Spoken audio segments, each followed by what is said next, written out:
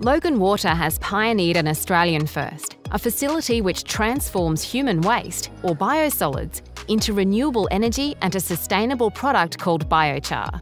Cost savings and carbon credits will return about a million dollars a year to the City of Logan, and a new revenue stream has been created from biochar sales. The facility also destroys chemicals in biosolids like persistent organic pollutants and micro and nanoplastics carbon emissions will be reduced by about 6,000 tonnes a year. Biosolids gasification works by heating dried sewage sludge in a gasifier at 650 degrees Celsius in a low oxygen environment.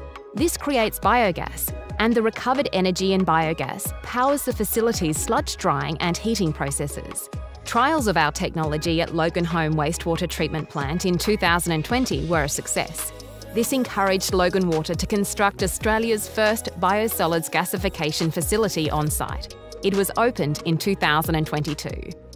So we're here to launch our uh, biosolids gasification project, which is now finished, uh, commissioned and producing A-grade biochar. So biochar is, uh, is our method of, um, of reducing the volume of waste products out of our sewage treatment plant. We sequester carbon into that uh, biochar, which makes it an A-grade agricultural product. It's got nutrient in it, uh, and it, uh, the volume has been uh, reduced by over 90%. So less truck movements, uh, saving diesel, and a great uh, reduction in our carbon footprint.